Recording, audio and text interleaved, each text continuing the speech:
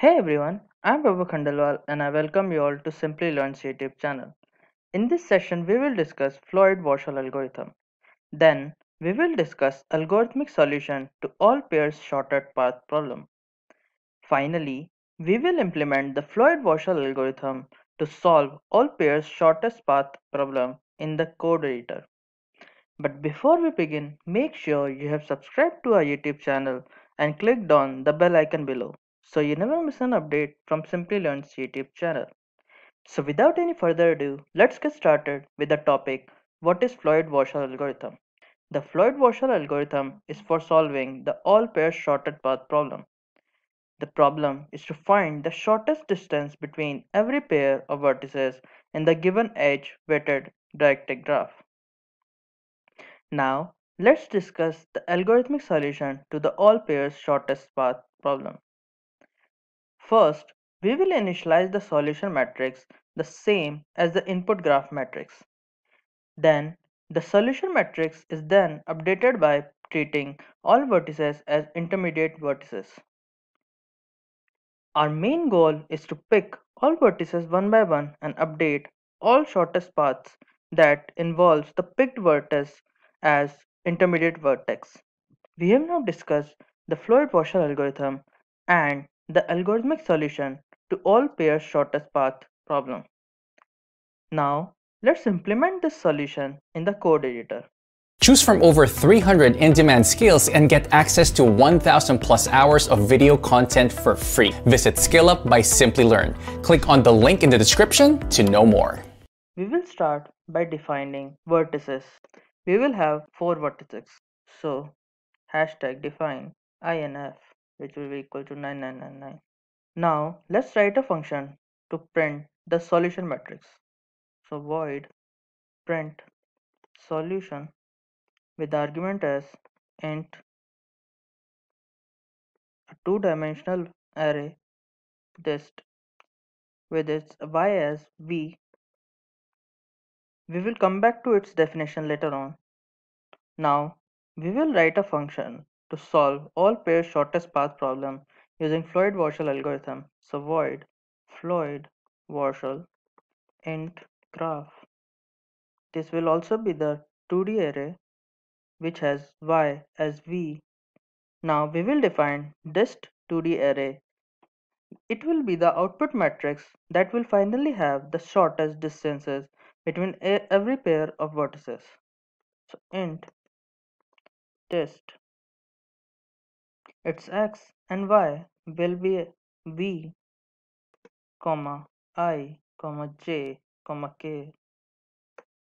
Now we will initialize the solution matrix same as input graph matrix or we can say that the initial value of shortest distance are based on shortest paths considering no intermediate vertex. So for i is equal to 0 i less than V i plus plus. Another nested loop for j is equals to 0 j less than v j plus plus. So distance at i comma j will be equals to graph at i comma j. Now we will add all vertices one by one to the set of intermediate vertices. So before start of an iteration, we will have the shortest distances between all pairs of vertices such that the shortest distance considering all the vertices is set from 0 to k minus 1 as intermediate vertices. And after the end of an iteration, vertex number k is added to the set of intermediate vertices and the set becomes from 0 to k.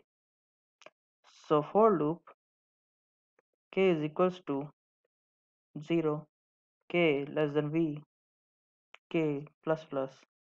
Now we will pick all vertices as source by one by one. I is equals to 0 i less than v i plus plus. Now we will pick all vertices as destination for the above picked source. So for j is equals to 0 j less than capital V j plus plus Now if vertex k is on the shortest path from i to j, then we will update the value of distance i, j.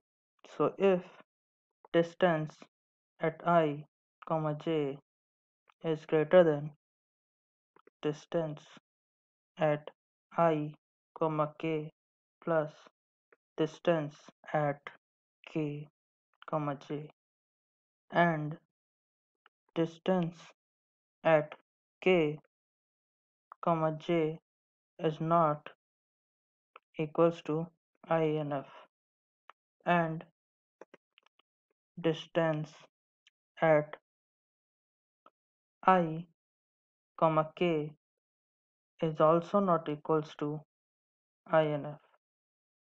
Then distance at i, j will be equals to distance at i comma k plus distance at k comma j Now we will call the print solution function for test.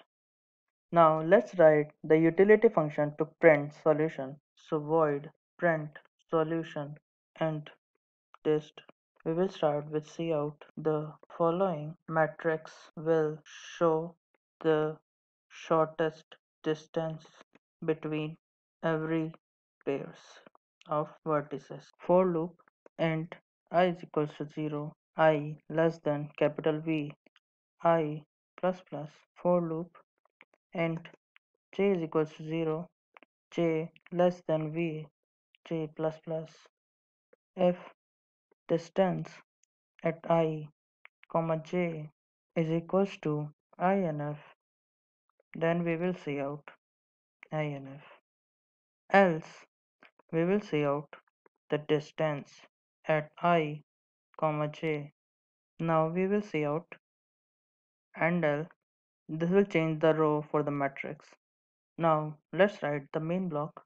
So we will define the matrix as int graph v comma v which will be equals to 0 comma 5 comma inf comma 10 next row inf comma 0 comma 3 comma inf next row inf comma inf comma 0 comma 1 last row inf comma inf comma inf comma 0 now we will call the floyd warshall function. So floyd warshall for argument graph. Let's execute this. As you can see we are getting an updated matrix which shows the shortest distance between every pair of vertices. And this was all for today's session. Hope you guys found it informative and helpful if you like this session then like share and subscribe if you have any question, then you can drop them in the comment section below. Thanks for watching and stay tuned for more from Simplilearn.